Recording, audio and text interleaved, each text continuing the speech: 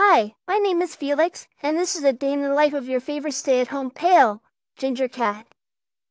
This morning I struck a deal with my father to not bite his toes in exchange for some pets and cuddles. As part of the deal, breakfast was served early. Chicken was on the menu for me today. Gotta get my vitamin D. Here's me sunbathing out in the catio.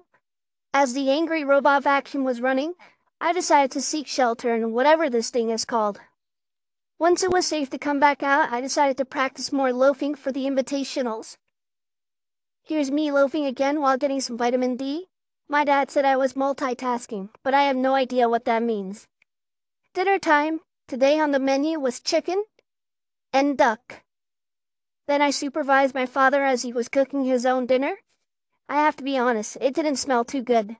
After all that activity, I was completely wiped. Just want to say thank you for watching and this is your favorite stay-at-home pale ginger cat signing off for the rest of the evening. Good night.